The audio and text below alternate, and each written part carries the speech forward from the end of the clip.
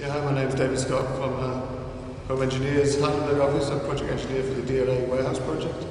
My name is Stefania Daniela Heath. Uh, I'm the facility manager here for DLA in Germersheim. I'm uh, Lieutenant Colonel Andre Baldanza. I'm the commander of DLA Distribution Europe, located here at Germersheim Army Depot. When we move into the new facility, all the lean projects that we, we put into place here will be transferred over there. Different facilities in, the, in this side of the big O, as they call it, where the uh, DLA are.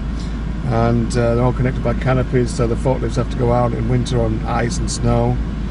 And this will all be replaced with obviously one central facility. The facility itself, um, while not self-sustainable, will almost be self-sustainable with its uh, wood-burning um, boiler, uh, with the solar panels, um, and with the technology that we've built into the facility itself, the uh, radiant heat floors, um, the solar lighting.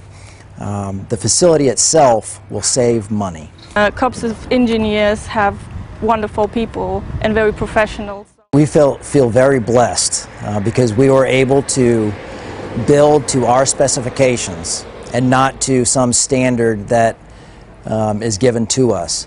The Corps of Engineers played a, a definite role in enabling us to do that.